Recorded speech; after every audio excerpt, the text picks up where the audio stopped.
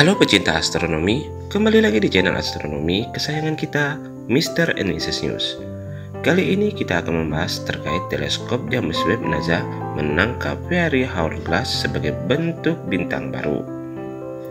Sebelum kita lanjut ke pembahasan, jangan lupa untuk subscribe dan share video ini ke teman-teman lainnya agar mendapatkan video terbaru terkait astronomi, fenomena astronomi, dan berita astronomi lainnya.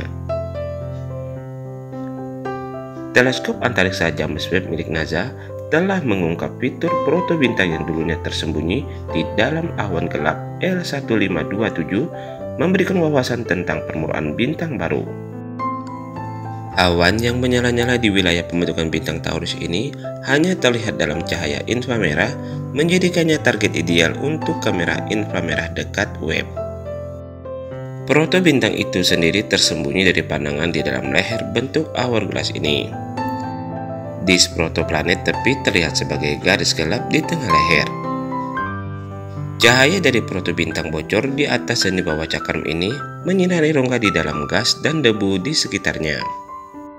Fitur paling umum di wilayah ini, awan berwarna biru dan jingga dalam citra inframerah warna yang representatif ini garis luar rongga yang tercipta saat materi melesat menjauh dari proto bintang dan bertabrakan dengan materi di sekitarnya. Warnanya sendiri disebabkan oleh lapisan debu antara web dan awan. Area biru adalah tempat debu paling tipis. Semakin tebal lapisan debu, semakin sedikit cahaya biru yang bisa lolos menciptakan kantung-kantung jingga. Teleskop James Webb juga mengungkap filamen hidrogen molekuler yang telah dikejutkan saat protobintang mengeluarkan material darinya. Guncangan dan turbulensi menghambat pembentukan bintang baru yang seharusnya terbentuk di seluruh awan. Akibatnya, protobintang mendominasi ruang angkasa, mengambil banyak materi untuk dirinya sendiri.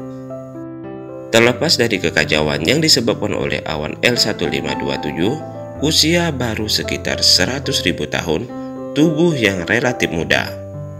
Mengingat usianya dan kecerahannya dalam cahaya inframerah jauh seperti yang diamati oleh misi seperti satelit astronomi inframerah, L1527 dianggap sebagai protobintang kelas 0 yang merupakan tahap awal pembentukan bintang.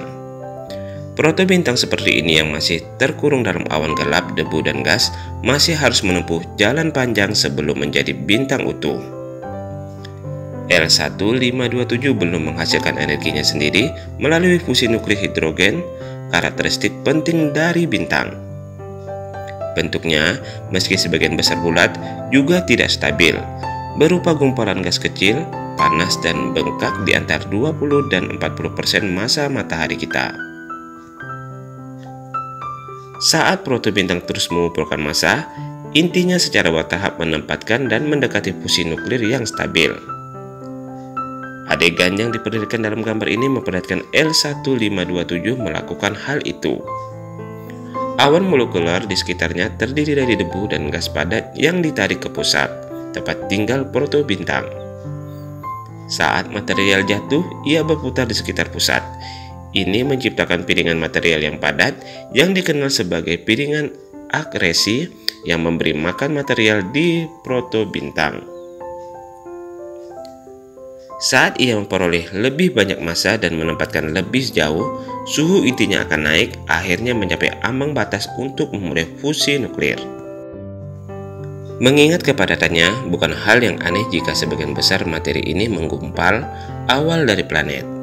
Pada akhirnya, pemandangan L1527 ini memberikan gambaran seperti apa matahari dan tata surya kita saat masih bayi. Nah, teman-teman pecinta astronomi, begitulah penjelasan singkat terkait teleskop James Webb NASA menangkap Fiery Hourglass sebagai bentuk bintang baru.